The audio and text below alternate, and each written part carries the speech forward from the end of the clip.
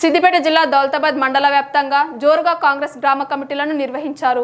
నియోజకవర్గ ఇన్ఛార్జ్ చెరుకు శ్రీనివాసరెడ్డి ఆదేశాల మేరకు మండల పరిధిలోని కోనాపూర్ మాచిన్పల్లి గ్రామాల్లో కమిటీలను ఏర్పాటు చేసి అధ్యక్షులను ఎన్నుకున్నారు. కార్యక్రమంలో మండల అధ్యక్షులు దశరథ రెడ్డి మద్దెల స్వామి రాములు గణేష్ తదితరులు పాల్గొన్నారు.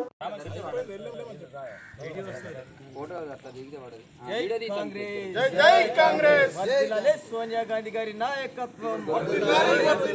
వర్ధిల్లాలి రాహుల్ గాంధీ గారి నాయకత్వం.